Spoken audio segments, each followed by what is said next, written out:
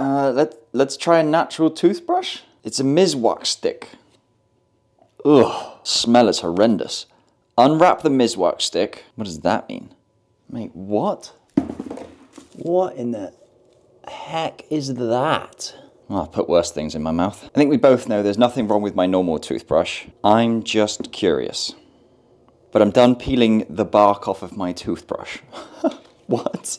Soak one end of the stick in water for 10 minutes. Peel off the soaked side of the stick. Okay, whoops. 10 minutes of soaking. Set a timer for 10 minutes. Oh, here we go. This, by the way, for cutting your nails, amazing. Surprisingly. Peel off the soaked side of the stick. Already did that. Chew the bristles gently to release them and brush.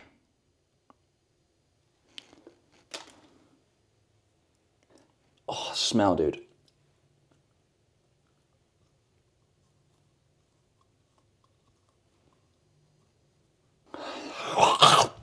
Oh, that's nasty. Nasty.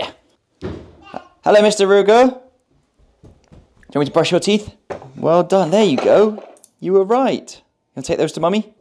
I've loosened them up a little bit. I think. What we just going in? Nice bit of pepper stuck in there. I don't know what I'm doing, Rugi. Taste is terrible though. It's horrible. Try and get the pepper out. Got it. I mean, it feels a bit clean. Ugh, get in between my fillings. That's what it looks like now. It's a bit better to brush with. It feels a bit better, but it's all bloody falling apart. If someone's like, oh, I'm all natural, use a bloody toothbrush, bro. This is not necessary. It's quite salty. Ugh. Do you imagine chewing on a piece of wood and the taste of a piece of wood? Exactly that. Ugh. Right, do they feel clean? I mean, I guess. How do you test? So you swill mouthwash. If it comes out cloudy, it means your teeth aren't clean. Using a tongue scraper as well. Ah! Too far back. All right, let's see if flossing gets anything. Yeah, see, flossing's getting quite a lot.